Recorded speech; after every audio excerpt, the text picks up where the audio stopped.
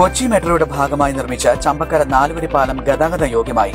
അൻപത് കോടി ചെലവിൽ നിർമ്മിച്ച പാലത്തിന് ഇരുന്നൂറ്റി നാൽപ്പത്തിയഞ്ച് മീറ്റർ നീളമുണ്ട്. രണ്ടായിരത്തി പതിനാറിൽ തുടക്കമിട്ട പാലത്തിന്റെ ആദ്യഘട്ട നിർമ്മാണം കഴിഞ്ഞ വർഷം പൂർത്തിയായിരുന്നു. വേലിയേറ്റ സമയത്ത് ജലപാതയ്ക്ക് തടസ്സങ്ങളില്ലാതെ ജലയാത്ര സാധ്യമാകുന്ന രീതിയിലാണ് പാലത്തിന്റെ നിർമ്മാണം.